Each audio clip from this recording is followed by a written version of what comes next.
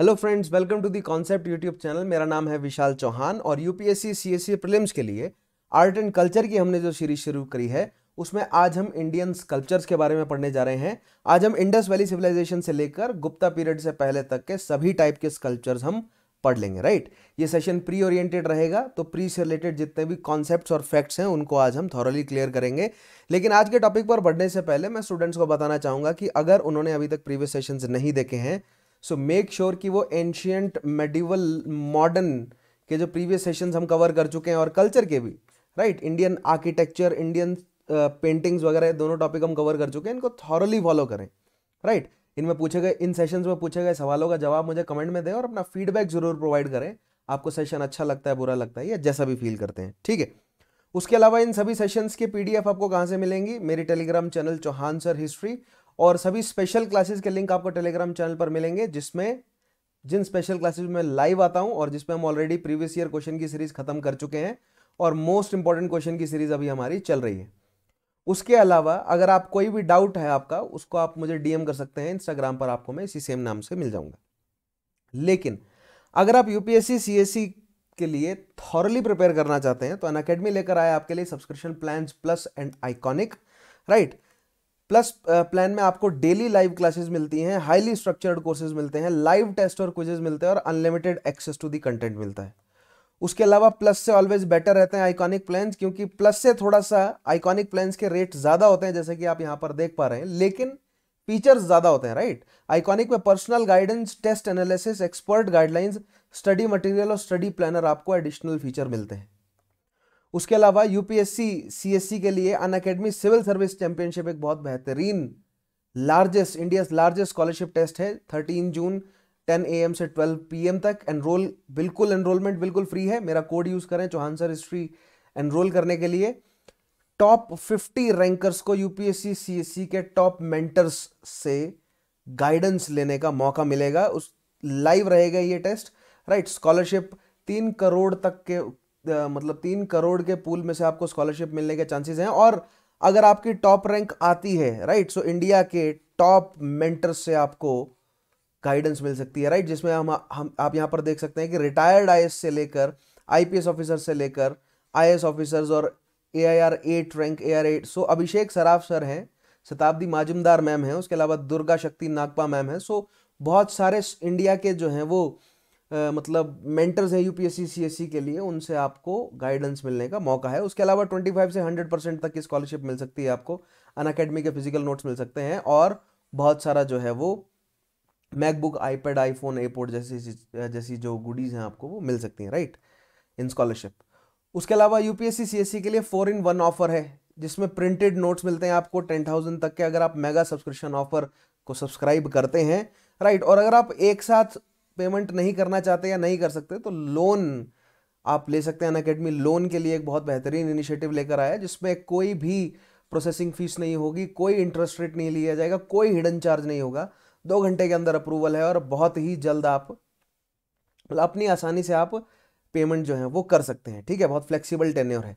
हर नई वीडियो के नीचे आपको loan for you loan for you P का लिंक ज़रूर मिल जाएगा। उसके अलावा टेन परसेंट डिस्काउंट तो आपको मिलता ही है अगर आप कोड यूज़ करते हैं मेरा। चौहान सर हिस्ट्री एक ईयर के बैचेस दो ईयर के batches phoenix revision batches NCERT batches दो जून से स्टार्ट हो रहे हैं। मेक श्योर sure कि आप सब्सक्राइब करें। If you are planning to prepare for UPSC CSC एक साल या दो साल के लिए अगर आप प्लान कर रहे हैं so this is the right time to get subscription right उसके अलावा फ्री टेस्ट सीरीज़ अवेलेबल हैं। Rise Unacademy path finder world affairs UPSC CSC unlock करने के लिए कोड यूज़ करें चौहान सर हिस्ट्री और अन अकेडमी कॉम्बैट स्कॉलरशिप टेस्ट तो हर संडे होता ही है। हिंदी और इंग्लिश में अवेलेबल है। टॉप रैंकर्स को स्कॉलरशिप मिलती है। चार करोड़ के पूल में से स्कॉलरशिप मिलती है। राइट एनरोल करने के लिए कोड यूज़ करें Chauhan sir history Unacademy combat every Sunday at eleven AM all right so शुरू करते हैं आज का हमारा सेशन स्कल्पचर्स के बारे में पढ़ना है हमें। इंडियन स्कल्पचर्स के बारे में। सो इंडस वैली सिविलाइजेशन से हम शुरुआत करते हैं इंडियन स्कल्पचर्स की। तो मैंने आप लोगों को एक बिल्कुल बेसिक फंडा बताया है कि किसी भी तरह का पॉलिटिकल सेटलमेंट है। पॉलिटिकल सेटलमेंट हो या ना हो राइट वैसे तो हमें मोस्टली स्कल्पचर्स जो हैं वो किसी ना किसी तरह के पॉलिटिकल शक्ति द्वारा पेट्रोनाइज उनकी पेट्रोनेज में बनते हुए नज़र आते हैं, है ना? लेकिन आम जनता भी अपनी तरफ़ से स्कल्पचर्स बनाती हैं। तो स्कल्पचर्स तो हमें प्री हिस्टोरिक टाइम्स इंडिया में बनते हुए टेराकोटा फिगरिंज इंडिया में बनती हुई नज़र आ रही हैं राइट लेकिन इंडस वैली सिविलाइजेशन में हमें ऑर्गेनाइज्ड वे में स्कल्पचर्स जो हैं वो बनते हुए नज़र आते हैं। तो आईवीसी से शुरू करते हैं सबसे पहले। पहला पॉइंट देखिएगा the artist and craftsman of Indus valley were extremely skilled in a variety of crafts metal casting stone carving making painting pottery and making terracotta images using simplified motifs of animals plants and bird अब देखिए Indus valley civilisation से हमें किस तरह की किस किस तरह के क्राफ्ट देखने को मिले हैं, है ना? तो हमें मेटल से लेकर स्टोन से लेकर टेराकोटा तक के क्राफ्ट जो हैं वो देखने को मिले मेटल में हमारे पास ब्रॉन्ज क्राफ्ट देखने को मिले जिसमें हमारे पास टूल्स से लेकर वेपन्स से लेकर बर्तन तक जो है वो मेटल के देखने को मिले हैं। स्टोन के हमारे पास जो है वो स्टोन कार्विंग्स देखने को मिली हैं, जैसे कि जो सील पर हमें स्टोन कार्विंग देखने को मिलती हैं। टेराकोटा की हमें फिगरिंग्स देखने को मिलती हैं, जिसमें वैरायटी ऑफ़ मोटिव होते हैं एनिमल प्लांट और वर्ड बर्ड्स तो कई तरह का मतलब समझ रहे हैं आप? तो अगर हम, जब हम इंडस वैली सिविलाइजेशन का क्राफ्ट देखते हैं तो हमें देखने को मिलता है कि जबकि वो साढ़े चार हज़ार साल पहले का है, चालकोलिथिक से न्यूलिथिक में एंटर करते हुए राइट ब्रॉन्ज एज का है बट स्टिल एक हाई डिग्री ऑफ़ आपको क्राफ्टमैनशिप जो है वो देखने को मिल जाएगी। Not so much in terracotta लेकिन मेटल क्राफ्टमैनशिप क्राफ्टमैनशिप और उसके अलावा पॉटरी एक बहुत बेहतरीन पॉटरी और पॉटरी के ऊपर मैंने आपको बताया ना black over red ware right बहुत बेहतरीन पॉटरी हमें देखने को मिलती है। टेराकोटा हमें इतना अच्छा इंप्रेसिव टेराकोटा नहीं देखने को मिला बट स्टिल जितनी वैरायटी में टेराकोटा देखने को मिला, वो काफ़ी अच्छी मतलब काफ़ी अच्छी सेंस देता है कि इंडस वैली सिविलाइजेशन के जो लोग हैं, उनके अंदर एक एस्थेटिक्स और जो क्राफ्टमैनशिप है, वो काफ़ी डेवलप हो चुकी थी। And we are speaking about a civilization that was present four four मतलब साढ़े चार हज़ार साल पहले right four and half thousand year ago it was present so बहुत पुरानी सिविलाइजेशन है। तो देखते हैं किस किस तरह के हम स्कल्पचर देखने को मिलते हैं। तो सबसे पहले तो स्टोन स्टैचूज देखने को मिलते हैं। ठीक है, हम स्कल्पचर्स की बात करेंगे, बाकी पॉटरी वगैरह की नहीं। स्कल्पचर की बात कर रहे हैं हम तो stone statue found at Harappa at and Mohenjodaro stone statues are excellent example of three dimensional statues तो ये थ्री डायमेंशनल स्टैचूज हैं, ये रॉक कट नहीं है, या ये इंस्क्राइब्ड नहीं है, या ये रिलीफ नहीं है, ये थ्री डायमेंशनल स्टैच्यूज हैं। राइट जिसमें हमें मेजर क्या मिलते हैं? Two male figures one is a torso in red sandstone Lal sandstone का टॉर्सो देखने को मिलता है। टॉर्सो मतलब कमर से ऊपर का area right that is torso and other is a bust and a bearded man in steatite यहाँ पर स्टेट की जगह होना चाहिए था स्टीएटाइट तो स्टीएटाइट एक मेटामॉर्फिक पत्थर है राइट और सैंड सैंडस्टोन रेड सैंडस्टोन में हमें दो ये मेल फिगर्स देखने को मिल रही हैं right The figure of bearded man interpreted as a priest is a draped in a shawl coming under the right arm and covering the left shoulder. So, ये देखिए। ये वो बियर्डेड मैन है स्टीयटाइट का बना हुआ है, इसकी राइट आर्म पर आपको एम्यूलेट भी देखने को मिल रहा है और एक जो है वो हेड ऑर्नामेंट भी देखने को मिल रहा है। बियर्डेड है राइट इसकी आँखें देखिए हाफ़ क्लोज्ड ऐसा लगता है मेडिटेशन में नोज़ जो है वो वेल फॉर्म्ड है। ठीक है? और ये जो शॉल है इसके ऊपर मतलब तीन पत्तियों वाला फूल बना हुआ है और राइट आर्म के नीचे दबा है और लेफ़्ट शोल्डर के ऊपर इसका शॉल। तो इतिहासकारों ने इसको मतलब मान लिया है कि ये बियर्डेड मैन जो है वो किसी तरह का प्रीस्ट है। और दूसरी तरफ़ ये एक पुरुष का टॉर्सो देखने को मिलता है रेड स्टोन जिसकी जिसके शोल्डर्स पर हमें ये दो आ, मतलब इंप्रेशन देखने को मिलते हैं but we are not sure कि ये इंप्रेशन क्यों बनाए गए हैं?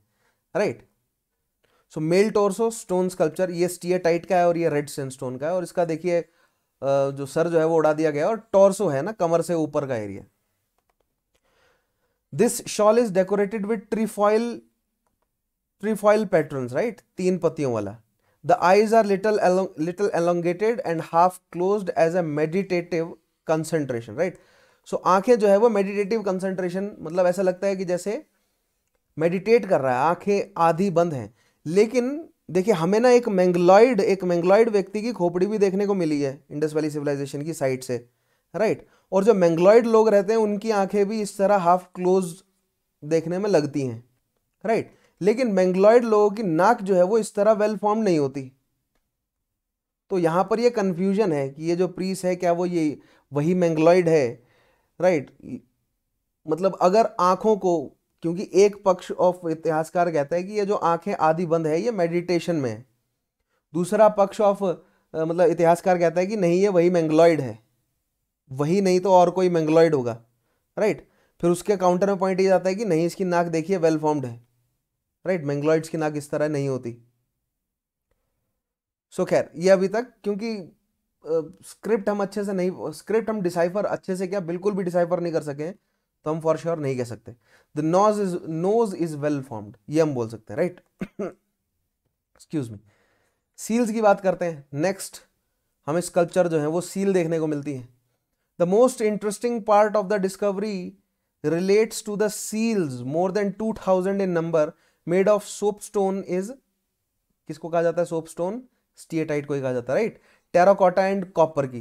सो मेटल स्टील भी मिली है, लेकिन बहुत कम। उसके अलावा टेराकोटा और स्टीएटाइट की हमें स्टील देखने सील्स देखने को मिली seals gave us useful information about civilization of Indus valley तो सील्स, हमें इतनी छोटी छोटी सील्स देखने को मिलती हैं, जिसमें एक एनिमल मोटिव होता है और इधर हड़प्पन स्क्रिप्ट में छः सात, आठ जो है, वो लेटर्स लिखे होते हैं। मोस्टली छः लेटर्स लिखे होते हैं छः या सात। सम सील्स हैव ह्यूमन और एनिमल फिगर्स ऑन देम और एनिमल में कौन कौन बुल्स हैं? ठीक है एलिफेंट्स होते हैं यूनिकॉर्न होता है यू लेकिन वो डाउट है, वो हो सकता है कि एक ही बैल है, उसके एक सिंग के पीछे दूसरा सिंग छुपा हुआ है right most of the seals have figures of real animals while a few bear the figure of mythical animals तो कुछ मिथिकल एनिमल्स भी हैं राइट जैसे शेर को पंख लगे हुए हैं, इस तरह के mythical animals the seals are rectangular circular और even cylindrical in shape seal की शेप देखिए, बहुत important the seals show the culture and civilization of Indus valley people in particular they indicate क्या क्या ड्रेसेस ऑर्नामेंट्स हमें पता चलता है, हमें ड्रेस अगर इंसान बने हुए तो पता चलता है हमें उनकी ड्रेसेस क्या हैं। अगर इंसान बने हुए तो हमें पता चलता है कि उन्होंने किस तरह के ऑर्नामेंट्स पहने हुए हैं, उनके किस तरह के हेयर स्टाइल होते हैं। ठीक है? हमें आर्टिस्ट की स्किल पता चलती है कि आर्टिस्ट जो है वो कितना स्किलफुली जानवर को नेचुरलिस्टिकली डिपिक कर सकता है या इंसान को नेचुरल नेचुरलिस्टिकली डिपिक कर सकता है। साढ़े चार हज़ार साल पहले। उसके अलावा trade contacts and commercial relation पता चलता है, क्योंकि जहाँ जहाँ पर हमें ये सील्स देखने को मिली है मतलब उस एरिया तक आईवीसी के ट्रेड जो हैं, वो कॉन्टैक्ट्स हैं, जो कि आईवीसी से बाहर हमें देखने को मिले हैं। इनफैक्ट मेसोपोटामिया में देखने को मिले हैं राइट उसके अलावा रिलीजियस बिलीव्स के बारे में पता चलता है, क्योंकि हमें रिपीटेडली पशुपति की सील्स देखने को मिलती हैं। उसके अलावा हमें हड़प्पा की स्क्रिप्ट देखने को मिल रही है सील से। तो हमें सील से ये सारी इन्फॉर्मेशन मिल रही है राइट इंपॉर्टेंट सील्स देखते हैं कौन कौन सी है तो सबसे पहले तो पशुपति सील सबसे इंपॉर्टेंट है right the seal depicts a yogi probably lord Shiva जिनको इंटरप्रेट किया गया है कि ये प्रोटो फॉर्म है, या प्रोटो शिवा आप इन्हें कह सकते हैं। जो योगी की पोजीशन में बैठे हुए हैं there is a pair of horns जिनके सर के ऊपर जो है वो पेयर ऑफ़ हॉर्न्स हैं। He is surrounded by rhino buffalo and elephant और टाइगर चार जानवर हैं, और under is throne are two deer और दो हिरण है उनके पैरों के नीचे। लेकिन ध्यान दीजिएगा हमें और भी पशुपति सील ऐसी मिली है जिनमें जानवर नहीं है, केवल पशुपति और स्क्रिप्ट लिखी हुई है। लेकिन ये जो पशुपति और उनके आसपास ये जो पाँच तरह के जो जानवर हैं, ये बहुत स्पेशल सील है right this this seal shows that Shiva was worshipped as the lord of animals यहाँ से हमें पशुपति का कॉन्सेप्ट निकलता हुआ नज़र आता है राइट right? उसके बाद next type of important seal तो हम बहुत बार ये पशुपति वाली सील जो है वो एक्सप्लोर कर चुके हैं, है ना? यूनिकॉर्न सील है next important seal unicorn is a mythological animal अब ये यूनिकॉर्न है या नहीं है कंफ्यूजन है, क्योंकि उस जानवर के सर पर एक सींग ऐसे देखने को मिलता है। ठीक है? अब वो एक सींग हो सकता है कि दूसरा सींग भी इसके पीछे हो, लेकिन छुपा है। लेकिन हमें कई जो बुल्स देखने को मिले हैं, उनके सर पर दो सींग साफ़ साफ़ बनाए गए हैं। तो एक पक्ष ऑफ़ इतिहासकार कहते हैं कि नहीं, ये यूनिकॉर्न ही है। लेकिन मेजोरिटीली मान गया, मान लिया गया यूनिकॉर्न सील के नाम से फ़ेमस हो गई है वो। ठीक है? The sea, this seal shows that at a very early stage of civilization, humans had produced many creations of imagination in the shape of bird and animal motifs that survived in later art. Next है bull seal बहुत important है एक bull रहता है right right? उसके ऊपर छह letter देखने को मिलते हैं पिक्टोग्राफिकल स्क्रिप्ट हमें पता चलती है और ये वही बुल सील है जो सबसे पहले मिली थी आप मुझे बताएँगे कब मिली थी और किसको मिली थी ठीक है this seal depicts a hummed bull of great vigor the figure shows the artistic skill and a good knowledge of animal autonomy. ठीक है? एनिमल कैसे दिखते हैं? Right right? एनिमल की शेप साइज़ वो काफ़ी अच्छे से डिपिक्ट किया गया, यानी कि काफ़ी रिफाइंड आर्टिस्ट थे।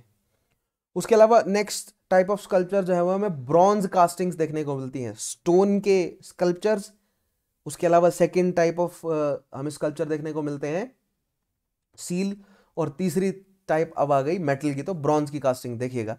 This art was practised on a large scale by Harappans their bronze statues were made using lost wax technique बहुत ज़्यादा इंपॉर्टेंट लॉस्ट वैक्स टेक्निक का इस्तेमाल करके वो ब्रॉन्ज के क्या बना रहे हैं? स्टैचूज आगे मैं आके आपको समझाता हूँ लॉस्ट वैक्स टेक्निक होता क्या है।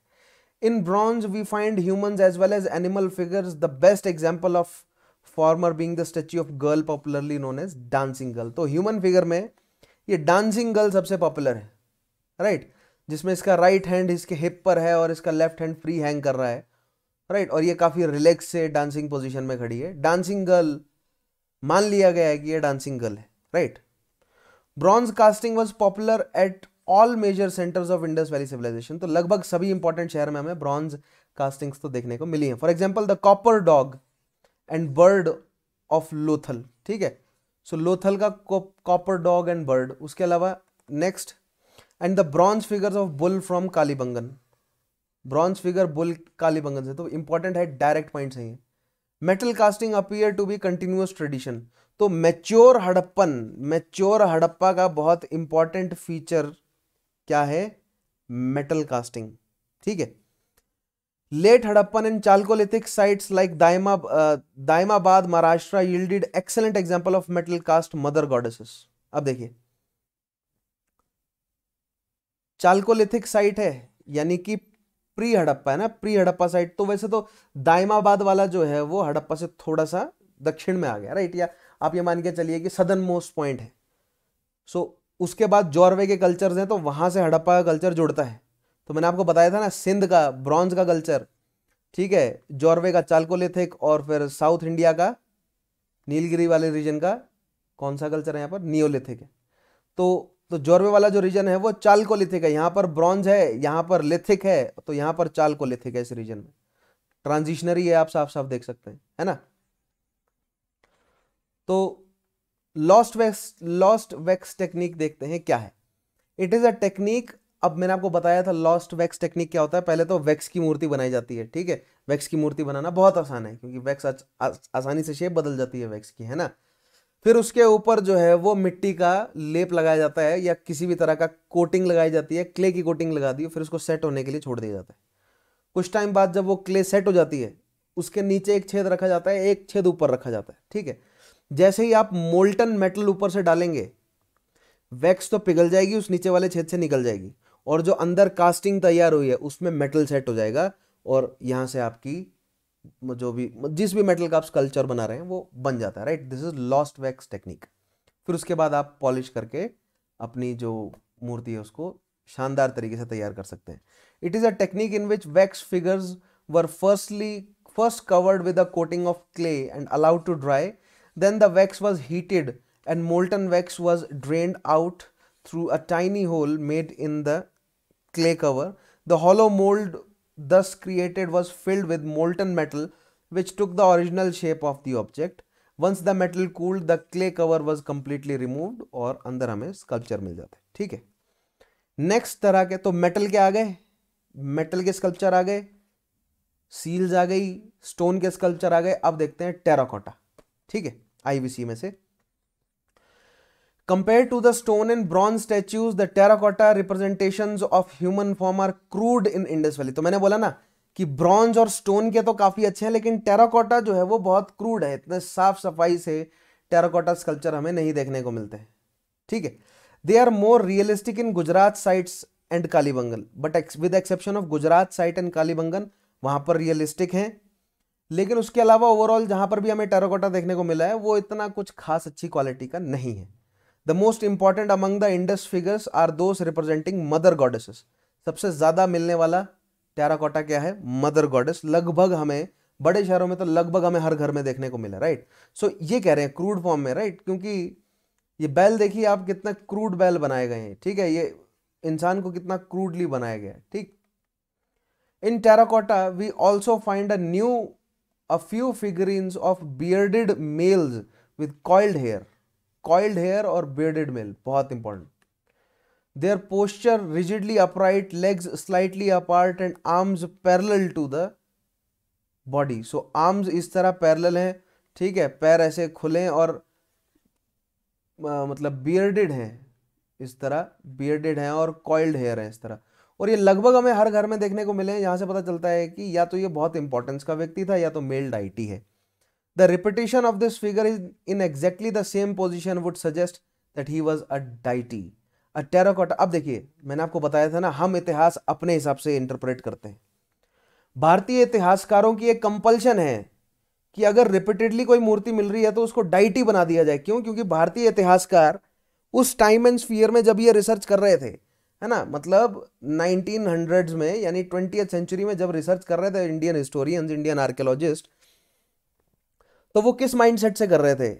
वो इसी माइंडसेट से कर रहे थे कि जहाँ पर मूर्ति मिले मतलब वो मूर्ति पूजन के लिए है। है ना? तो अगर फीमेल फिगरेंस मिल रही है तो वो डाइटी है। अगर मेल फिगरेंस मिल रहे हैं रिपीटेडली तो वो डाइटी है। लेकिन हम श्योर नहीं है कि आईवीसी ने रिलीजन का कॉन्सेप्ट कितने हद तक डेवलप कर लिया था कि मूर्ति पूजन में वो एंटर कर गए थे। लेकिन इंडियन इतिहासकार इंडियन आर्कियोलॉजिस्ट के ऊपर हो सकता है कि ये प्रेशर हो या तो हो सकता है कि उनका खुद का समझ रहे हैं, क्योंकि आप किसी भी इतिहास को आप इंटरप्रेट करते हैं, अपने पैराडिम से ना, आपका आपका जो परसेप्शन है, उसी हिसाब से तो आप इंटरप्रेट करेंगे ना किसी भी इवेंट को, ठीक है? कितने भी आप अनबायस्ड होने की कोशिश करें, कितने भी मल्टी परसेप्शनल अप्रोच रखें बट स्टिल कहीं ना कहीं नज़र आ ही जाता है। तो ये डाइटी वाला जो पॉइंट है, ये वही है, पुराने जो भारत के इतिहासकार हैं, वो तो नहीं जानते ना मतलब क्योंकि ओवर द पीरियड बहुत सारी स्टडीज़ हुई हैं। अब जैसे आज मैं ये इफेक्टिवली कंक्लूजन निकाल सकता हूँ, ठीक है, कि अगर हर घर में डाइटी मिल रहा है तो वो ज़रूरी, अगर हर घर में कोई सेम मेल फिगर मिल रही है तो वो ज़रूरी नहीं है कि वो डाइटी हो हो। सकता है कि कोई प्रोमिनेंट शासक हो हो सकता है कि कोई और प्रोमिनेंट उनका फोकलोर का कोई हीरो हो। कुछ भी हो सकता है राइट या मूर्ति बनाने का एक ही तरीका है, हो सकता है कि घर के किसी एक पुरुष का रिप्रेजेंटेशन हो, लेकिन यह भी हो सकता है कि वो डाइटी हो। तो जो पुराने इतिहासकार हैं, उन्होंने केवल और मेजोरिटीली इसी पॉइंट पर ध्यान दिया कि वो डाइटी ही है। राइट उसके अलावा अन्य जो है, वो पॉसिबिलिटीज भी हो सकती हैं। लेकिन इस सेंस में हम इतने मतलब डीप कॉन्सेप्ट में हम जाएँगे ऑप्शनल लेवल पर जब हम पढ़ेंगे। ठीक है? वहाँ पर घुसेंगे इन सब बहस में और इन सारे पॉइंट्स में। ठीक है? A terracotta mask of a horned deity has also been found लेकिन प्री के लिए आप मान के चलिए कि हम डाइटी वाला पॉइंट जो है वो, क्योंकि मेजोरिटरली किस पॉइंट को एक्सेप्ट किया गया तो ये डाइटी वाली थ्योरी को एक्सेप्ट कर लिया गया है कि वो देवी और देवता ही हैं। ठीक है? ये देखिए, ये टेराकोटा फिगरिन है, बहुत बेहतरीन। ये बुल्स बनाए गए हैं स्पोकलेस है। देख रहे हैं आप, जो व्हील्स हैं वो स्पोकलेस हैं, इनमें व्हील्स में स्पोक नहीं है, लेकिन व्हील्स को बनाने के लिए थम्स का इस्तेमाल किया गया है, यहाँ पर आपको थम के इंप्रेशन जो हैं वो देखने को मिल जाएँगे। ठीक है? बट अनफॉर्चुनेटली फिंगरप्रिंट्स जो हैं वो सर्वाइव नहीं कर सके। खैर toy cart and wheels whistles rattles birds and animals gamesmen and disc were also rendered in terracotta तो टेराकोटा के हमें टॉयज और हो सकता है कि डेकोरेटिव आर्टिकल्स जो हैं वो बनाते हैं वो सब मिले हैं right the toy animal with a movable head from Mohenjodaro toy animal with a movable head बहुत इंपॉर्टेंट है। Belonging to the same period shows how children were kept amuse and happy with toys next बात करते हैं pottery की। IVC में pottery को भी एक इंक्लूड कर लेते हैं। तो मैंने आपको बताया आईवीसी की pottery black over red ware ठीक है? The different shapes made beautifully with a perfect craftsmanship supply evidence of the advance techniques known to the Indus valley potter wheeled pottery हमें देखने को मिलती है ग्लेज्ड पॉटरी हमें देखने को मिलती है right the pottery of Indus valley civilization is an excellent example of ancient glazed pottery plain undecorated pottery is more common at Mohenjodaro than painted ware Mohenjodaro में प्लेन अनडेकोरेटेड बट उसके अलावा glaze और decorated pottery भी बहुत important हिस्सा है। उसके अलावा बट ये but the well known painted red and black wares were adorned with black color design designs on red background. So red over black ware most popular design is a series of intersecting circles. Other designs include tree patterns. So motifs kya kya hain? Animal geometrical patterns and flora right? Broad pattern figures of animals and birds. The Harappan painted ware was decorated in monochrome बहुत important है। Polychrome बहुत कम है। Monochrome Polychrome का मतलब ही क्या होता है कि मल्टीपल कलर्स का इस्तेमाल किया गया मल्टीपल मटेरियल्स का इस्तेमाल किया गया, लेकिन यहाँ पर नहीं है ऐसा। यहाँ पर आपको ग्लेज्ड भी है तो बट स्टिल भी मोनोक्रोम देखने को मिलेगी। पॉलीक्रोम आपको कुछ एक हद तक मिल जाएगा जो ग्लेज पॉटरी है। Polychrome polychrome pottery though rare was also found in Indus valley perforated pottery देखने को मिली है। परफोरेटेड यानी कि उसमें छेद है ऐसा लगता है मतलब पॉटरी में। छेद छेद छेद है, जैसे कि उसमें लीकर को फर्मेंट करने के लिए रखा गया हो। Includes a large hole at bottom and small holes all over the walls and was probably used for straining liquor. तो शराब बनाने के लिए इस्तेमाल किया गया होगा। Pottery for household purposes found in many shapes and sizes miniature vessels miniature vessels देखने को मिले ठीक है, जिनका प्रैक्टिकल यूज़ नहीं किया जा सकता, उनको टॉयज की तरह बनाया गया mostly less than half an inch in height are greater artistic sense half an inch size right इतने इतने मिनिएचर वेसल्स बनाए गए सो वहाँ से आर्टिस्टिक सेंस देखने को मिलती है। उसके अलावा नेक्स्ट बीड्स एंड ऑर्नामेंट्स देखने को मिले हमें आईवीसी से। Excavation of bead suggest that India was the largest manufacturer and exporter of beads of the world at that time अब आप मुझे बताएँगे कि बीड फैक्ट्री सबसे बड़ी आईवीसी में कहाँ मिली है? मैंने एक पिछले सेशन में मेंशन किया था। मेक श्योर sure कि आप कमेंट में ज़रूर बताएँ। Gold and silver bangles gold beads and agate and onyx beads all resemble jewellery found at Indus valley sites such as Harappa and Mohenjodaro in Pakistan at Lothal Rakhi Garhi and Dholavira in India ठीक है? तो यहाँ से हमें beads और ornaments देखने को मिल रहे हैं। The craftsman of Indus valley use semi precious material like अब क्या क्या मटेरियल जैसे कर कैरनेलियन लाल सा पत्थर होता है, मैंने आपको बताया था, ठीक है? अगेट अगे जुड़ा होगा वर्ड अगेट हो गया टर्कॉइस हो गया ग्रीन से कलर का पत्थर होगा, उसके अलावा faience steatite feldspar fashioning them into tubular और बैरल शेप्स राइट इस तरह की जो है वो उनको शेप दी जाती है बीड्स को। इस तरह की शेप दी जाती है बीड्स को। और फिर उनमें जो है वो धागा पिरोकर गले में पहना जाता right decorated them with carvings bands dots and patterns और setting them minutely with gold तो हमें क्राफ्ट्समैनशिप देखने को मिलती है आईवीसी से the craftsman had the skill of tumbling beads cutting semi precious hard stones and shaping the beads one of the finest example of this category two square amulets embossed with the image of swastika बहुत important ये gold के swastika जो है, वो हमें देखने को मिलते हैं कहाँ से? आईवीसी से। बहुत important the earliest known representation of swastika in gold known to us बहुत ही ज़्यादा इंपॉर्टेंट पॉइंट है। राइट सो ये तो आ गया आईवीसी में. Beads and ornaments pottery terracotta bronze casting import और सील्स और उससे पहले स्टोन स्टैच्यूज ठीक है? तो आईवीसी में स्कल्पचर किस तरह के देख रहे हैं हमें? स्टोन स्टैच्यू देखने को मिल रहे हैं। सील देखने को मिल रही है, ब्रॉन्ज की कास्टिंग देखने को मिल रही है, टेराकोटा स्कल्पचर देखने को मिल रहे हैं, पॉटरी एज अ स्कल्पचर हमें देखने को मिल रहे हैं, बीड्स और ऑर्नामेंट्स एज स्कल्पचर्स हमें देखने को मिल रहे हैं। नेक्स्ट हम बात करेंगे मॉडर्न पीरियड। आईवीसी से सीधा मॉडर्न पीरियड पर जंप किया हमने। क्यों? क्योंकि आईवीसी के बाद ऋग्वैदिक और लेटर वैदिक के तो आर्कियोलॉजिकल एविडेंसेस खास हमारे पास हैं नहीं राइट और उस फिर उसके बाद सोलह महाजनपद से मौर्य तक की जितनी भी डेवलपमेंट है उसको हम मॉडर्न पीरियड में इंक्लूड करके पढ़ लेते हैं, है ना? कल्चरल डेवलपमेंट की बात कर रहा हूँ पॉलिटिकल नहीं। मॉडर्न आर्ट मैंने आपको बताई थी, दो तरह की आर्ट है कोर्ट आर्ट और पॉपुलर आर्ट कोर्ट आर्ट तो वो है जो मॉडर्न राजाओं ने इशू करवाई है, जैसे कि पिलर्स हैं। राइट उन पिलर्स के ऊपर जो कैपिटल्स हैं, जो केव आर्ट उन्होंने इशू करवाई, जो स्तूप उन्होंने इशू करवाए right court art and a more popular art during the modern period have been distinguished court art is represented by pillars and their capitals popular art क्या है? Court art क्योंकि actually हम discuss कर चुके हैं, है ना? मैंने आपको पिछले एक टॉपिक में कोर्ट आर्ट पिलर्स के रूप में जो है वो एस्टेब्लिश करवा दिया है। पॉपुलर आर्ट देखते हैं is represented by rock cut architecture popular art क्या है? ये रॉक कट आर्किटेक्चर है। सो मॉडर्न पीरियड से हमें रॉक कट आर्किटेक्चर देखने को मिल जाता है। आईवीसी में हमें रॉक कट आर्किटेक्चर देखने को नहीं मिल रहा है।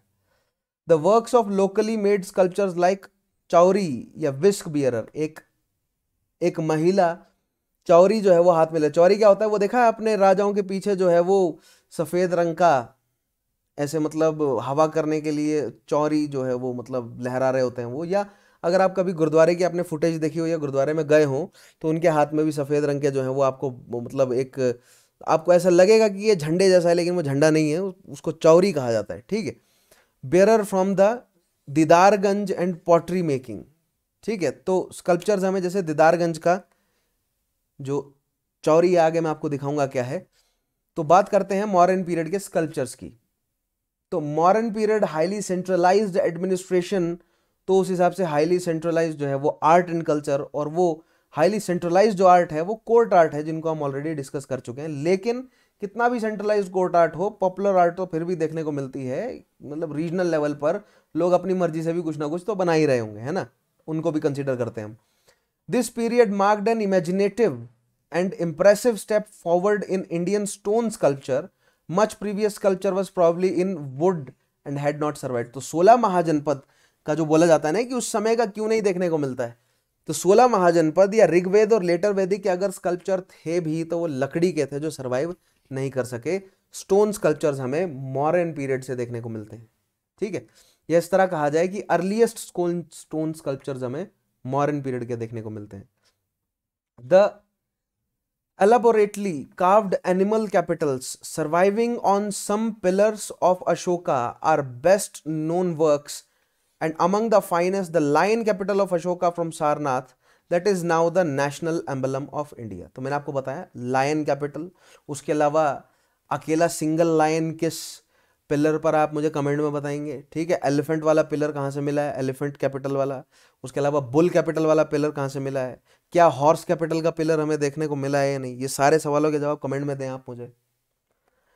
यक्ष और यक्षिनी के हमें स्कल्पचर देखने को मिलते हैं। Linked with Hinduism Buddhism and Jainism were common among the sculptures जो पॉपुलर आर्ट में देखने को मिलती है, ठीक है?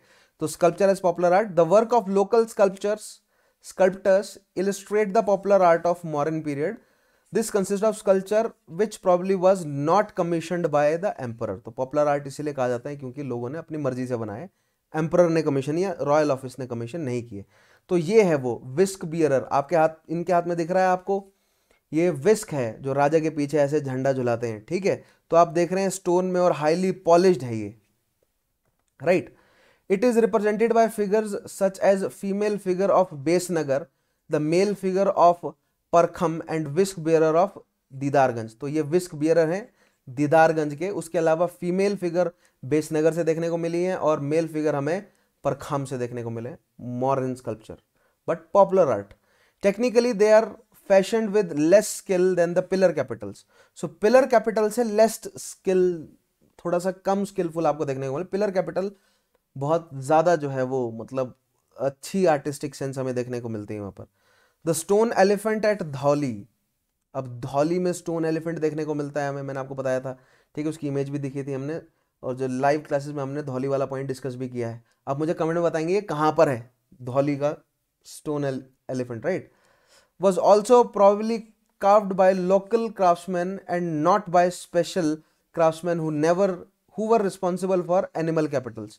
तो धौली वाला स्टोन एलिफेंट जो है वो लोकल क्राफ्ट्समैन द्वारा बनाया गया क्योंकि वो थोड़ा रफ है as compare to the elephant carved by royal orders right Terracotta objects of various sizes have been found at modern sites.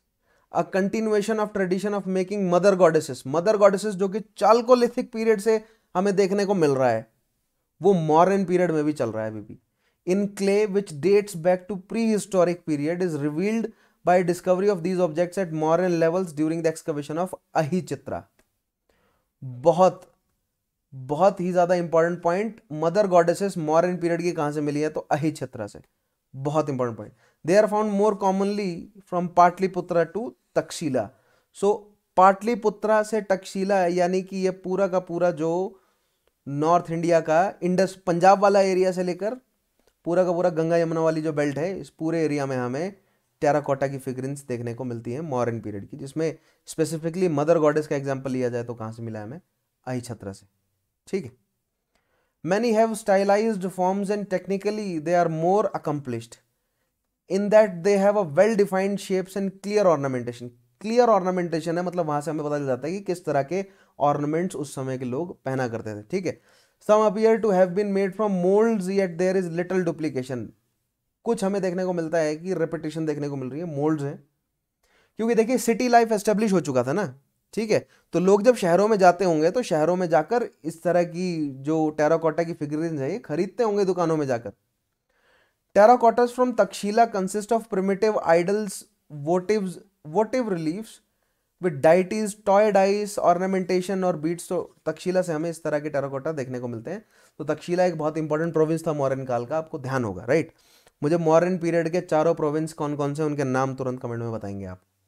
Among the ornaments were round medallions similar to bullae worn by Roman boys तो bullae क्या होता है? गले में एक round जो है वो मेडल टाइप का या ताबीज टाइप का जो है वो रोमन छोटे बॉयज़ जो है वो पहनते हैं। वैसे हमें मेडलियंस देखने को मिलते हैं तो यहाँ से हमें ग्रीक कनेक्शन देखने को मिल रहा है। ठीक है? तक्षशिला से देखने को मिला हमें। उसके अलावा रिंग स्टोन देखने को मिले हैं, ठीक है? इस तरह से रिंग स्टोन देखने को मिले हैं, जिसमें हमें यहाँ पर ऐसे फीमेल डाइटीज देखने को मिलती हैं और ये रिप्रेजेंट करता है फीमेल फर्टिलिटी को, right? Probably associated with a fertility cult have also been found in some quantity terracotta images of folk gods and goddesses which have been found have an earthly charm तो regional जो gods and goddesses है, उनके terracotta images भी देखने को मिलते हैं और वो मार्केट्स में बिकते भी होंगे क्योंकि शहरीकरण हो चुका था। पॉटरी देखते हैं मॉडर्न पीरियड की। तो 16 महाजनपद, मैंने आपको बोला ना ब्लैक ओवर रेड वेयर किसका है? आईवीसी ठीक है। पेंटेड ग्रे वेयर किसका है आपका? वैदिक काल। 16 महाजनपद की है आपकी northern black polished ware NBPW ठीक है। Use of the, use of the potter's wheel became widespread. The pottery associated with modern period consists of many type of wear. ठीक है, लेकिन इसका मतलब ये नहीं है कि ये तीनों लुप्त हो गई, ऊपर की दो लुप्त हो गई। In fact black over red ware तो आज तक आज तक चल रही है ब्लैक ओवर रेड वेयर सबसे पुरानी टाइप ऑफ़ पॉटरी और वो आज तक चल रही है। आपके घर में अगर मटका होगा तो वो most probably black over red ware होगा। ठीक है? But the most highly developed technique is seen in a special type of pottery known as northern black polished ware.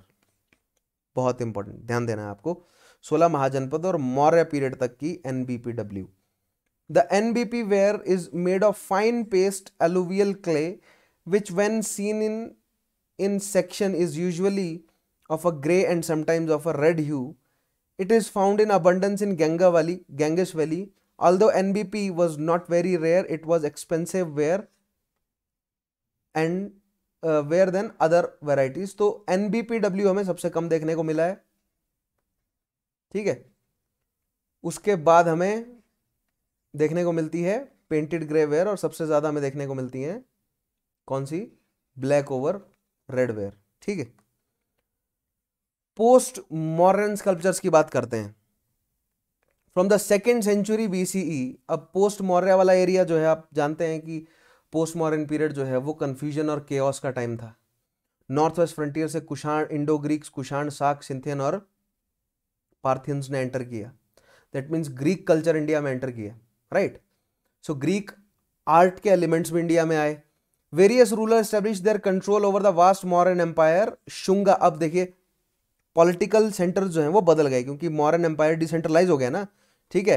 तो एक पॉलिटिकल सेंटर बना नॉर्थ वेस्ट फ्रंटियर के आसपास, यानी पंजाब वाले रीजन में और नॉर्थ वेस्ट फ्रंटियर दूसरा पॉलिटिकल सेंटर जो है वो पाटलिपुत्र वाला, तीसरा जो है वो पॉलिटिकल सेंटर उज्जैन वाले रीजन में, या जिसको वेस्टर्न छत्रप का रीजन कहलाया जो बाद में, ठीक है? गुजरात उज्जैन वाला रीजन और तीसरा चौथा जो है वो आपको देखने को मिलता है दक्षिण भारत में, जहाँ पर आंध्रा या सतवाहन जो है वो डेवलप होते हैं। और इसी बीच में, यहाँ पर बीच में मथुरा कन्नौज वाला रीजन भी एक इंपॉर्टेंट पॉलिटिकल सेंटर के रूप में डेवलप होगा राइट शुंगा के बाद काणव आए लेकिन उसके अलावा नॉर्थ वेस्ट फ्रंटियर वाले रीजन से कुशाण ठीक है और फिर इधर काणवों के बाद गुप्ता डेवलप होते हैं। तो कुषाण और गुप्तों में कौन, पहले कॉन्फ्लिक्ट है इंडो ग्रीक्स और शुंगों में कॉन्फ्लिक्ट रहेगा।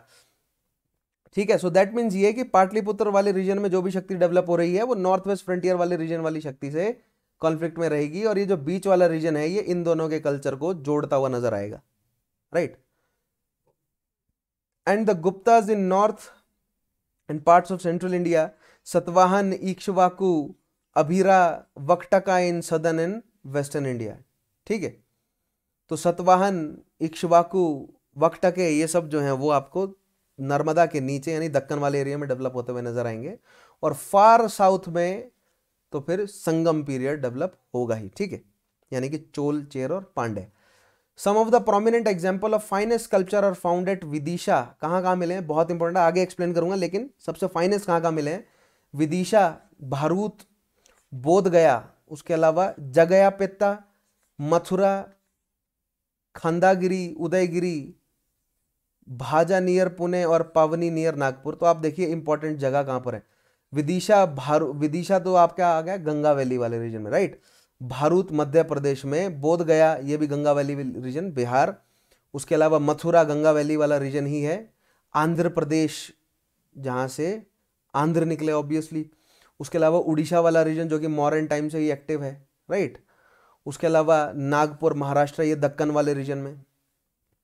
The rich advancement during this period involve the growth and development of three school of art लेकिन सबसे इंपॉर्टेंट चीज़ है, तीन हमने इन सारे, जहाँ जहाँ से हमें स्कल्पचर मिले हैं ना ये, इनको मुख्यतः तीन स्कूल ऑफ़ आर्ट में हमने बांट दिया है। ठीक है, मैंने आपको बोला ना, एक तो नॉर्थ वेस्ट फ्रंटियर से जो एंटर हुआ वहाँ पर, ठीक है?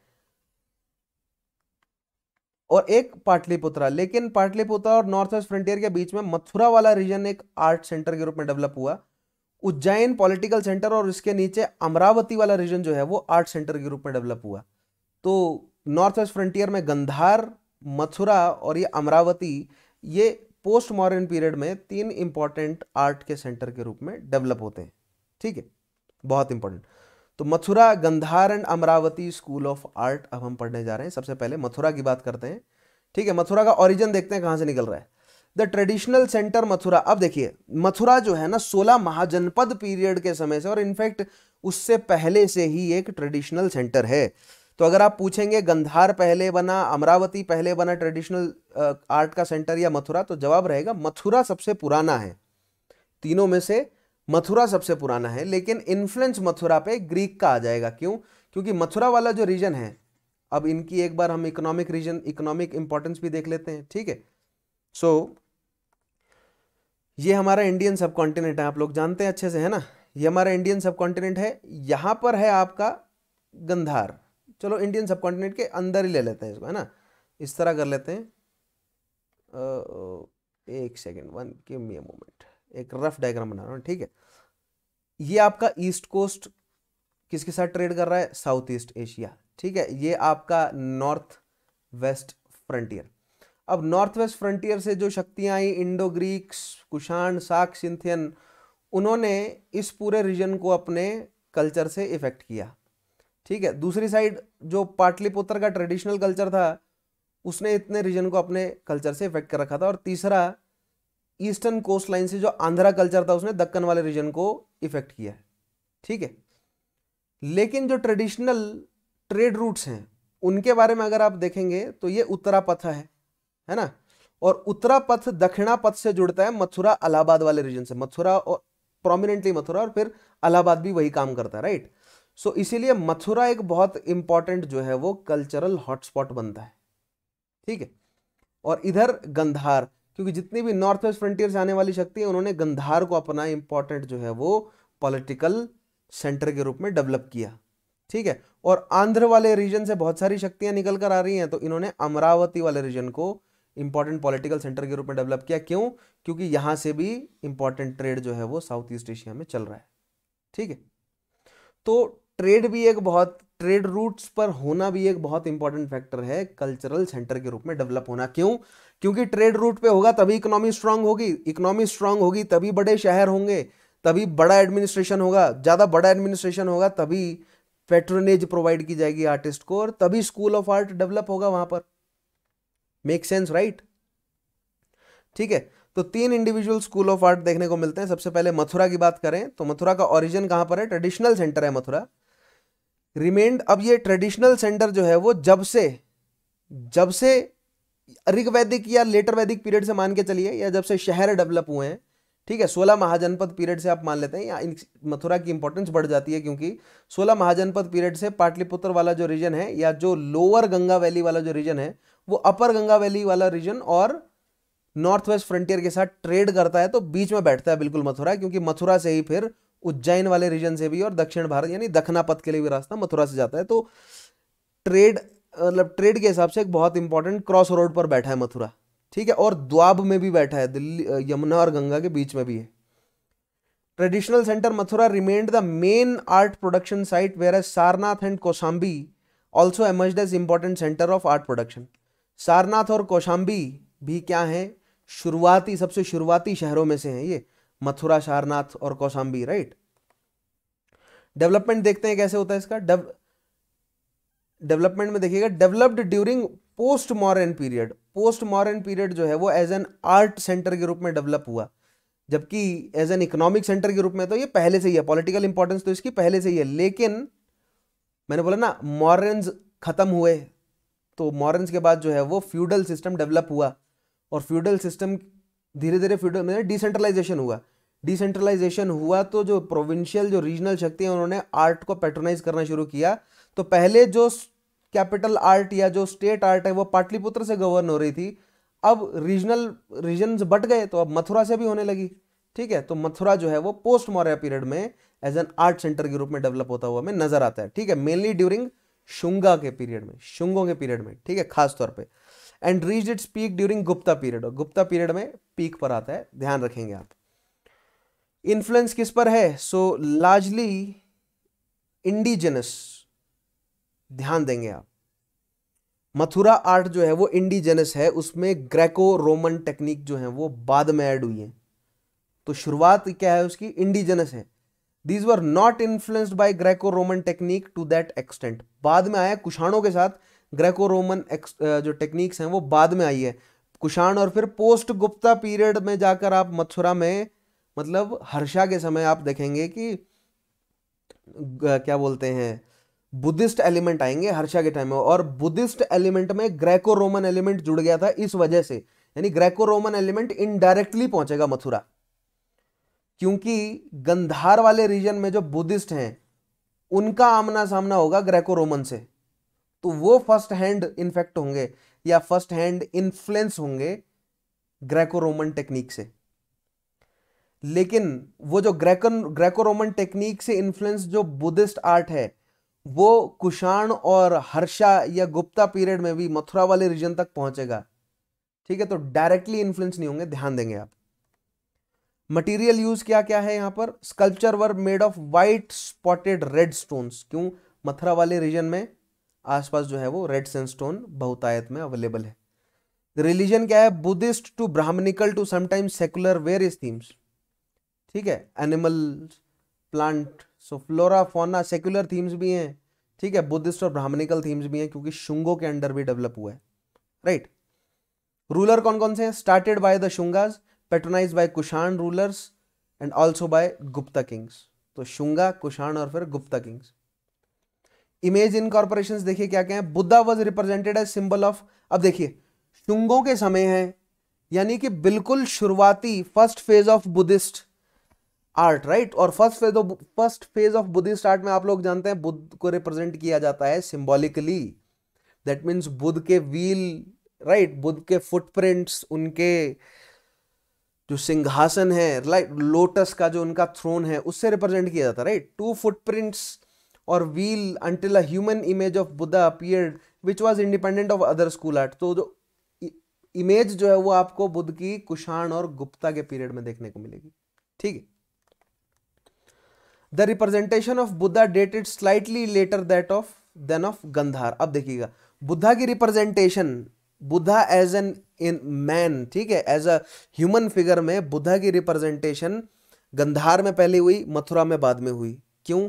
क्योंकि मैंने आपको बोला ना, गंधार बुद्धा की रिप्रेजेंटेशन एज अ ह्यूमन किस वजह से किस इन्फ्लुएंस से है? सो so, वो ग्रैको रोमन इन्फ्लुएंस से है। ठीक है? क्योंकि ग्रेको रोमन जो कल्चर्स हैं, वो अपने जो देवी देवता हैं, उनको ह्यूमन फॉर्म में रिप्रेजेंट करते हैं।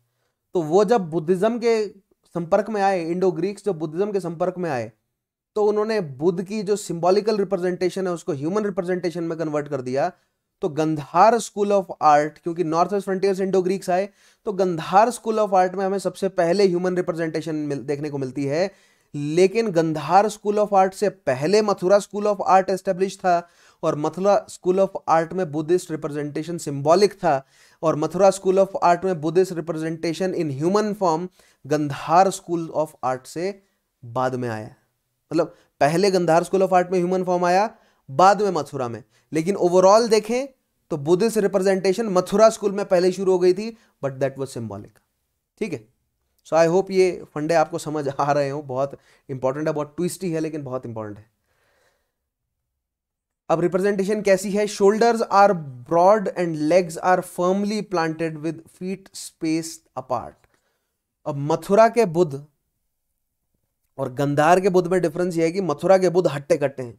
गंधार के बुद्ध थोड़े सुकड़े, थोड़े पतले हैं राइट सो दैट मीन्स व्रत करते हैं गंधार मतलब गंधार के जो बुद्ध हैं, वो ऐसे रिप्रेजेंट किया गया है जैसे बुद्ध जो है वो व्रत करते हैं और व्रत करने की वजह से बुद्ध का जो है वो वेट लॉस हो गया, है ना? और जो मथुरा के जो बुद्ध है, वो अच्छा दिखाया है कि खाते पीते हैं तो हट्टे कट्टे हैं ना? ब्रॉड शोल्डर्स दिखाए गए। अदर कैरेक्टरिस्टिक देखिएगा क्या है? शेवन हेड हेड जो है वो शेवन है तो माथा काफ़ी बड़ा नज़र आता है राइट द उश निशा, यानी कि प्रोट्रूडेंस ऑफ़ द हेड ये जो माथा है, ये काफ़ी बड़ा नज़र आता है। Indicated by a tiered spiral and a round smiling face the right arm raised right arm जो है वो इस तरह अभय मुद्रा में gesture of reassurance abhaya mudra में रेज की गई है। The presence of lion throne rather than of lotus throne lion throne present है लोटस थ्रोन नहीं है, क्योंकि लायन की इंपॉर्टेंस जो है वो ग्रेको रोमन कल्चर में बहुत है। लोटस वाला रिप्रेजेंटेशन जो है वो अर्ली फ़ेज़ का था। और Greco Roman influence Gandhara art में आया, वो फिर मथुरा में पहुँचा और तब मथुरा में बुद्ध की ह्यूमन फॉर्म्स देखने को मिली। But the Jina image and indigenous style of Buddha's image was a remarkable feature of Mathura art the Sarvato Sarvatobhadrika image of the four Jinas बहुत important Mathura art right image of Vaishnava and Shiva faith are also found in Mathura art ठीक है तो ये है, देखिए। ये अभय मुद्रा में बैठे हैं, ठीक है ब्रॉड शोल्डर्स हैं राइट और ये आपको जो है वो देखने को मिल रहा है कि माथा थोड़ा ब्रॉड दिखाया गया है, पीछे आपको हेलो देखने को मिलेगा। अब ये जो हेलो है ना, ठीक है, ये जो हेलो है, ये आपका सेंट्रल एशियन एलिमेंट है ग्रेको रोमन नहीं है, क्योंकि हमने इससे पहले पेंटिंग्स मैंने आपको पर्शियन पेंटिंग्स दिखाई थी तो उसमें हर शासक के पीछे जो है वो हर शासक के मतलब जो भी चेहरा चेहरा टाइप बनाता हूँ एक, ठीक है? ये हेड गेयर है और ये शासक का चेहरा राइट इसकी ऐसे दाढ़ी, जो भी शासक है, उसके पीछे आपको ऐसे हेलो देखने को मिलेगा। ये हेलो जो है वो सेंट्रल एशियाटिक एलिमेंट है ग्रेको रोमन नहीं है, ठीक है? ग्रेको रोमन एलिमेंट आपको क्या देखने को मिलेंगे? आगे आपको ग्रेको रोमन में दिखाता हूँ स्पेसिफिक ग्रेको रोमन एलिमेंट क्या है? अब जो हेलो आपको सेंट्रल एशिया में दिखे ना, उस हेलो में आपको ये जैसे काविंग्स देखने को मिल रही है ना सेमी सर्कल ये नहीं देखने को मिलेगी, ये मथुरा आर्ट की मतलब एडिशंस हैं, ठीक है? और यहाँ पर बुद्ध जो है वो आपको थोड़ा हट्टे कट्टे देखने को मिलेंगे और नीचे आपको लायन देख रहे हैं, सिंहासन जो है वो लोटस का ना होकर लायन का है, ठीक है? और ये एक चीज़ और, क्या ये एक फ्री स्टैंडिंग स्कल्पचर है? नहीं, है ना? ये फ्री स्टैंडिंग ये रिलीफ स्कल्पचर है, ये एक और डिफरेंस है। गंधार आर्ट की बात करते हैं। ओरिजिन क्या है? The origin of Greco the Buddhist art are to be beside uh, beside found in the Hellenistic Greco-Bactrian kingdom. तो इंडो ग्रीक्स जब इंडिया में एंटर किए यानी हेलेनिस्टिक ग्रेको बैक्टीरियन लोग जब भारतीय इंडियन सब कॉन्टिनेंट में एंटर किया उन्होंने और जब बुद्धिज्म से उनका आमना सामना हुआ तो उन्होंने बुद्धिज्म को पेट्रोनाइज किया क्योंकि उस एरिया का बहुत स्ट्रांग रिलीजन था और ट्रेडिंग के लिए बहुत इंपॉर्टेंट था। तो बुद्धिस्ट, क्योंकि ट्रेड गिल्ड्स जो हैं वो बुद्धिस्ट थे। और इंडो ग्रीक्स को अगर इंडियनाइजेशन अपना करवाना है, भारतीय कल्चर में जुड़ना है इंडियन ट्रेड के साथ जुड़ना है तो इंडियन ट्रेड गिल्ड्स को अपने साथ जोड़ना पड़ेगा। और इंडियन ट्रेड गिल्ड्स को अपने साथ जोड़ने का सबसे बेहतरीन तरीका है कि उनके धर्म को पेट्रोनाइज करो, और उनका धर्म था बुद्धिज्म। ठीक है तो ये पॉलिटिकल और पॉलिटिकल और इकोनॉमिक कारण आपको समझना, ये जो कॉन्सेप्ट हैं आपके दिमाग में इस तरह क्लियर होने चाहिए। और मुझे ऐसा लगता है कि अगर आप मेरे रेगुलर स्टूडेंट्स हैं तो ये कॉन्सेप्ट आपके काफ़ी अच्छे से क्लियर होंगे भी। ना north west part of India Bactria Swat और गंधार वाला रीजन है। यहाँ पर ये गंधार आर्ट एक्टिव है तो आप लोग अच्छे से जानते हैं। अगर आप रेगुलर स्टूडेंट्स हैं मेरे तो इन रीजन को आप बहुत अच्छे से समझते हैं कि ये कहाँ है। स्वात वैली बैक्टीरिया वाला रीजन गंधार कहाँ है right if you guys already know please give me a yes ठीक है? मुझे कमेंट में बताइए कि आप लोग जानते हैं। और जो चैट चलता रहता है, उसमें रिप्लाई कर दिया कीजिए, क्योंकि मैं जब सेशन प्रीमियर हो रहा होता है, उस समय चैट में पढ़ लेता हूँ, ठीक है? डेवलपमेंट देखिए क्या है। Developed in what is now north western Pakistan and eastern peak Afghanistan between first century B C E and seven century C E so first century B C E यानी इंडो ग्रीक्स के समय से seventh century तक जो है वो active रहा। फिर सेवन सेंचुरी के बाद इस्लामिक शक्तियाँ आ गई, अब्बासी आ गए, ठीक है, उमायद आ गए, फिर उमायद के पीछे अब्बासी आए। और फिर उन्होंने बुद्धिस्ट कल्चर जो है वो वहाँ का तहस नहस कर दिया, बिल्कुल ही। इन्फ्लुएंस किस पर है? किसका इन्फ्लुएंस है? गंधार आर्ट पर तो ग्रेको रोमन इन्फ्लुएंस हमें देखने को मिलता है और फिर मथुरा आर्ट का इन्फ्लुएंस देखने को मिलता है। ठीक है? मटेरियल क्या क्या यूज़ हुए हैं? ग्रेको रोमन के साथ आप सेंट्रल एशियाटिक भी जोड़ देंगे आप। Central Asiatic grey sandstone mud lime और स्टको का इस्तेमाल किया जा रहा है। बहुत important material however, marble however, marble was not used not used, right? ध्यान देंगे दो मार्बल अफ़गानिस्तान वाले रीजन में अवेलेबल है। And terracotta was used rarely stucco provided great plasticity to the sculpture stucco की वजह से मार्बल वगैरह का यूज़ करने की ज़रूरत बची नहीं। किस रिलीजन से रिलेटेड है? तो थीम इज़ मेनली बुद्धिस्ट अब ग्रेको रोमन में बुद्धिस्ट जो है वो महायान स्पेसिफिकली महायान बुद्धिज्म हमें देखने को मिलता है। Depicting various stories from life of Buddha Jataka stories represent होती हुई हमें नज़र आती हैं। With Hellenistic character so that means जो ग्रीक देवता हैं राइट जैसे हरकलीस है ज्यूस है, या उनके और एटलस वगैरह है, ये सब हमें देखने को मिलते हैं बुद्धिस्ट आर्ट में। यानी कि बुद्ध बीच में खड़े हैं, साथ में उनके हरकलीस है। बुद्ध का जो सिंहासन है, उसको एटलस उठा रहे हैं। जिस तरह एटलस पूरी धरती को उठाते हुए दिखते हैं हमें। हेलिक आर्ट में, उस तरह एटलस जो है वो बुद्ध के सिंहासन को उठा रहे हैं, बुद्ध के चिन्ह को उठा रहे हैं, ठीक है? तो इस तरह का फ्यूजन देखने को मिलता है। बुद्ध के, बुद्ध की मूछे हैं, बुद्ध की करली दाढ़ी है, बुद्ध के करली बाल हैं राइट किन किन रूलर्स ने पैट्रोनाइज किया? तो in India first first time Gandhara art flourish during Kushan rule in India देखिए, शुरुआत इसकी इंडो ग्रीक्स के साथ हुई है नो no डाउट लेकिन बड़े लेवल पर फ्लरिश किया कुशाण रूल ने पर्टिकुलरली कनिष्काज रूल इमेज क्या क्या है? देखिए, इमेज इनकॉर्पोरेशन क्या है? Final details and realistic image बहुत रियलिस्टिक इमेजेस अब ग्रीक आप ग्रीक एलिमेंट तो यही है कि बहुत देखिए, कई जगहों पर बुद्ध को बहुत दुबला पतला दिखाया गया और कई जगहों पर बुद्ध को बहुत जो है वो मस्कुलर और सुडोल दिखाया गया ठीक है तो ये दोनों ग्रीक एलिमेंट्स हैं। Buddha carved out in various mudras Buddha अलग अलग मुद्रा में, ठीक है, धर्म चक्र परिवर्तना उसके अलावा अभय मुद्रा योगी की अवस्था में बैठे हैं, खड़े हैं right curly hair anatomically anatomical accuracy body जो है वो बहुत एक्यूरेट बनाई गई है, ये तो ग्रीक आर्ट की खासियत है। उसके अलावा स्पेशियल इनडेप्थ देखने को मिलती है फोर शॉर्टनिंग देखने को मिलती है। Buddha is sometimes thin Buddha को कई बार इतना पतला दिखाया गया, बिल्कुल हड्डियाँ और नशें वगैरह निकलती हुई दिखाई गई आपको जब मैं जी एस वन में करवाऊँगा बुद्ध, ये गंधार आर्ट को डिटेल में जी एस वन में पढ़ेंगे तो वहाँ पर मैं आपको उन सब इमेजेस को दिखाऊँगा। नॉट डेकोरेटेड ज़्यादा डेकोरेटेड नहीं है। आपको ऐसा देखने को मिलेगा कि केवल ऊपर कपड़ा ले रखा है राइट क्योंकि जैसे कि अगर आप मथुरा आर्ट में देखेंगे या इंडिया के अन्य रीजन से जहाँ पर बुद्धिस्ट आर्ट देखने को मिलती है तो हाईली डेकोरेटेड आपको देखने को मिल जाएगा, है ना? The image was very expressive The art was depiction of human body in a realistic manner, elaborate ornamentation and complex symbolism. Gandhar school was influenced by Greek methodologies. The figure was spiritual and great detail was paid to the exact depiction of body parts. The Buddha seated in the position of a yogi was a monk's with a monk's garment एक बहुत important image right the head displays the sign of his supernatural powers the large ears and the third eye on his forehead are among the distinct feature of Gandhara Buddha बहुत important बहुत important देखिएगा। पीछे hello देखने को मिल रहा है। ठीक है? ये मंक के गारमेंट्स हैं और देखिए, बिल्कुल मतलब समझ रहे हैं एस्थेटिकली कितना फाइन है। है ना? करली हेयर देखने को मिल रहा है। इसमें मुस्टैशिस नहीं है, लेकिन मुस्टैशिस भी देखने को मिलती है हमें कुछ आर्ट में मतलब कुछ स्कल्पचर्स में। और बॉडी को कितना डिटेल से बनाया गया और एनाटॉमिकली कितना करेक्ट है। है ना? क्योंकि अगर आप इंडियन मूर्तियों को देखेंगे तो बहुत ज़्यादा मतलब एक्स्ट्रा आपको देखने को मिलेगा कि एनाटॉमिकली करेक्ट नहीं है कई जगहों पर। ठीक है? लेकिन ग्रीक आर्ट एनाटॉमिकली करेक्ट देखने को मिलती है। खैर, तीसरा स्कूल है आपका Amaravati.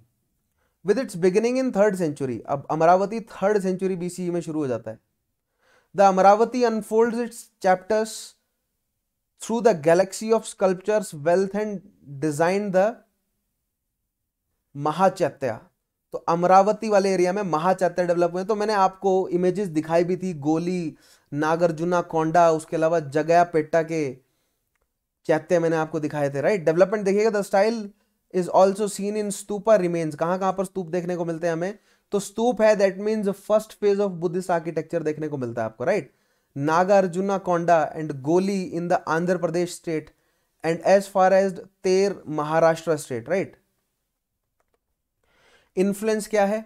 The construction of Amaravati stupa began about 200 BC and it underwent several renovation and addition mostly indigenous indigenous है। बाहर का एडिशन नहीं है, ठीक है? But the curly hair of Buddha is a feature that is similar to Greeks देखिएगा, ध्यान दीजिएगा, बुद्ध की पहली बार मूर्ति किसने बनाई है? ग्रीक्स ने बनाई है राइट तो जो करली हेयर वाला फीचर है, उसके बाद बुद्ध की जितनी भी मूर्तियाँ इंडिया में बनी है दैट मीन्स उसमें ग्रीक एलिमेंट कहीं ना कहीं देखने को मिल जाएगा, क्योंकि हेलो हमें लगभग हर मूर्ति में देखने को मिलता है, हर रिप्रेजेंटेशन देखने को, हर रिप्रेजेंटेशन में देखने को मिलता है। तो वो सेंट्रल एशियाटिक और ग्रेको एलिमेंट्स हमें हर बुद्ध मूर्ति में देखने को मिलता है राइट मटेरियल क्या क्या इस्तेमाल हुए हैं? White marble was use in this art बहुत इंपॉर्टेंट वाइट मार्बल यूज़ हो रहा है यहाँ पर। रिलीजन क्या है? Theme is mainly Buddhist the themes were Buddha's life and Jataka tales तो शुरुआत में बुद्धिस्ट बुद्ध को सिंबॉलिकली रिप्रेजेंट किया जाता है, स्तूप से फुटप्रिंट से, कमल से राइट किन किन रूलर्स ने तो सतवाहनों ने of south India patronized first by Satavahana and later by Ikshvaku and also by other groups ठीक है? इमेज इन कॉर्पोरेशन इमेजेस देखिए कैसे है। Buddha has been depicted in divine form cultural forms in this area is characterize by intense emotions सबसे सबसे पहले तो बुद्ध को डिवाइनिटी में मतलब सिंबॉलिकल रिप्रेजेंटेशन ना, मैंने बोला ना, स्तूप के तौर में रिप्रेजेंट किया जा रहा है। लेकिन फिर बाद में जातक का स्टोरी जब बुद्ध सेकंड फ़ेज़ में जब बुद्ध की मूर्तियाँ आ गई तो फिर बुद्ध को मूर्तियों के रूप में रिप्रेजेंट किया जा रहा है। Slender have a lot of movement bodies are shown with three bends right tribhanga posture में बॉडीज देखने को मिलती हैं।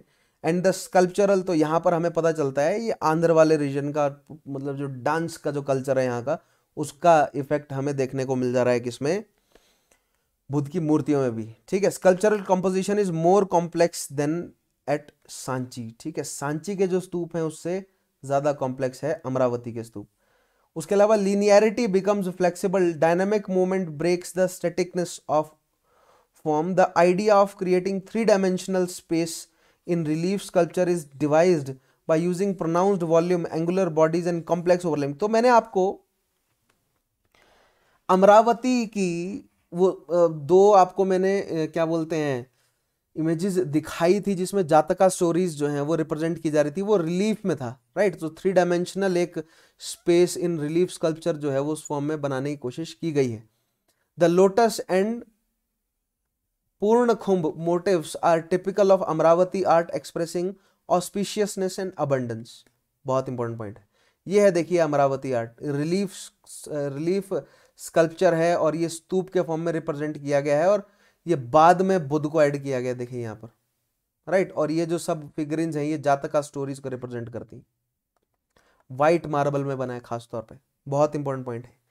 नेक्स्ट आएगा आपके भारूत के sculptures Bharhut sculptures are tall like the images of yaksha and yakshini in modern period images stick to the picture plane right so free standing नहीं है। The illusion of three dimensionality is shown with tilted perspective availability of the space is utilize to the maximum at Bharhut narrative panel are shown with fewer characters but as the time progress is apart from the main characters in the story other others also start appearing in picture in space so basically क्या है? देखिए। Bharhut sculptures में क्या है? Fewer characters हैं। तो जैसे मैंने आपको बाद में मिनिएचर बताया था ना बुद्ध का या अजंता की जो मुराल पेंटिंग्स हैं कि बीच में एक फिगर बनाई जाती है और उसके आसपास उसके पीछे छोटी छोटी कुछ और फिगर्स बनाई जाती हैं जिससे ये पता चलता है कि जो सेंटर फिगर है वो सामने है और बाकी बाकी जो है वो पीछे हैं। तो एक थ्री डायमेंशनैलिटी ठीक है आ, हमें देखने को मिलती है।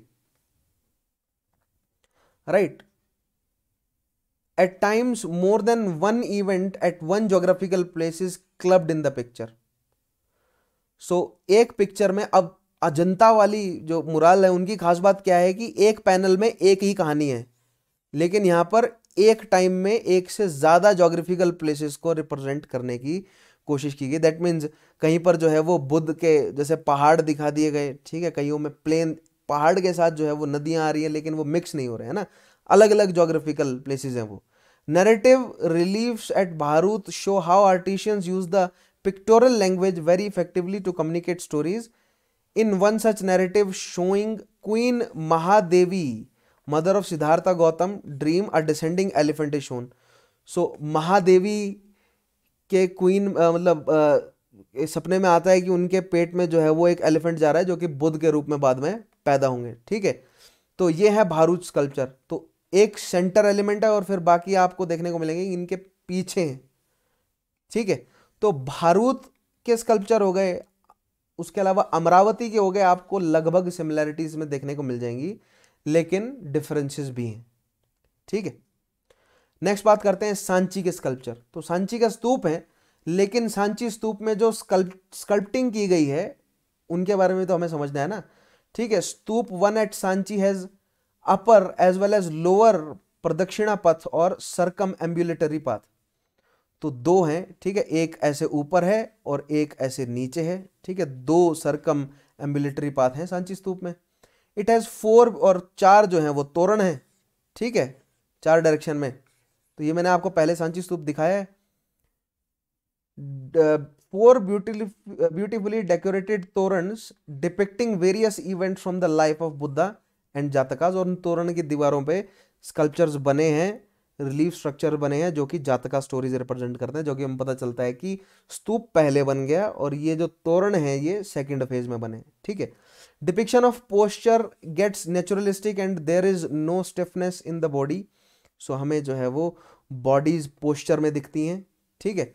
Heads have considerable projection in the picture space rigidity in contours gets reduced and images are given moment images जो है वो आपको रिजिड नहीं देखेंगे फिक्स नहीं देखेंगे. हेड जो है वो थोड़े से पॉप आउट होते हुए नज़र आएँगे. Carving techniques appear more advanced than Bharhut तो भारूत से एडवांस आपको सांची की कार्विंग्स देखने को मिलेंगी.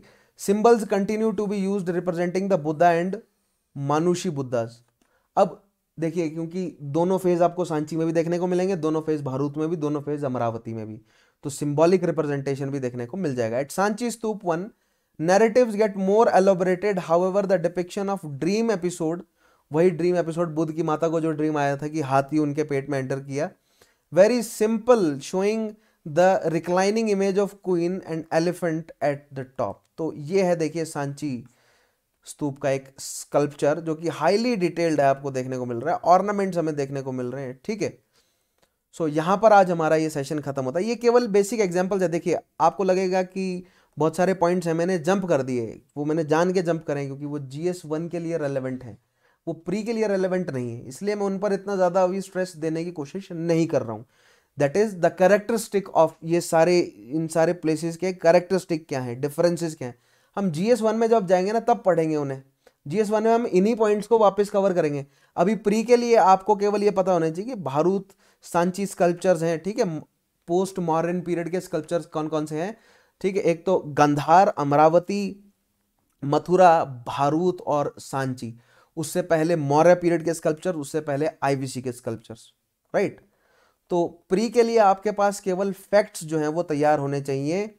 ठीक है, उसके अलावा साइट्स के बारे में आपको पता होना चाहिए कि क्या चीज़ कहाँ से मिली है हमें राइट क्रोनोलॉजीज के बारे में आपको पता होना चाहिए और रेस्ट अगर टाइप ऑफ़ क्वेश्चन हैं तो मैं वो डेफिनेटली जो मोस्ट इंपॉर्टेंट क्वेश्चन की सीरीज़ चल रही है, वहाँ पर भी कवर करूँगा। और जब जी एस वन के लिए पढ़ेंगे, जब हम जी एस वन के लिए पढ़ेंगे तो जो ये पॉइंट आपको लग रहा है कि मैंने स्किप आउट कर दिया या रश आउट कर दिया, उनको हम वहाँ पर डिटेल में समझेंगे। अभी हमारे प्री के प्री के दौरान प्री की तैयारी करने के लिए अभी वो इम्पोर्टेंट नहीं है। जब हम मेंस के लिए जाएँगे ना तो हम उसी माइंडसेट से जाएँगे कि हमें सांची स्तूप को पूरा डाइसेक्ट करके पढ़ना है, है क्या सांची स्तूप? तो पहली ऊपर ऊपर वाली जो सरकम एम्बुलेटरी है उसके बारे में डिटेल में समझाऊँगा। फिर नीचे वाली तोरण किसने बनाए हर एक तोरण में किस कहानी को रिप्रेजेंट किया गया तो वहाँ पर हम डिटेल में जाएँगे। और सेम गोस पर भारूत स्कल्पचर के बारे में डिटेल में पढ़ेंगे और अमरावती के जो चैत्य और विहार हैं, उनके बारे में भी डिटेल में पढ़ेंगे but that comes under G S one ठीक है? इन सभी सेशन के आपको पीडीएफ कहाँ से मिलेंगे? मेरे Telegram channel Chauhan sir history और अगर आप लोग चाहते हैं कि मुझे सपोर्ट करें तो सब्सक्राइब करें अन अकेडमी के प्लान्स को राइट दस परसेंट का डिस्काउंट चाहते हैं तो मेरा कोड ज़रूर यूज़ करें that is Chauhan sir history इस वीडियो को लाइक शेयर और इस चैनल को सब्सक्राइब ज़रूर कीजिएगा और आप लोगों का फ़ायदा हो रहा है मेरी इन वीडियो से. मेक श्योर sure कि आप मेरे आगे आने वाले सेशंस के साथ ज़रूर जुड़े रहें और स्पेशल क्लासेस का लिंक आप लोग जानते हैं कहाँ से मिलेगा आपको Telegram channel that is Chauhan sir history ठीक है? सो खत्म करते हैं आज की इस वीडियो को। मिलते हैं आपसे अगले सेशन में। तब तक के लिए अपना ध्यान रखिए। Take care have a nice day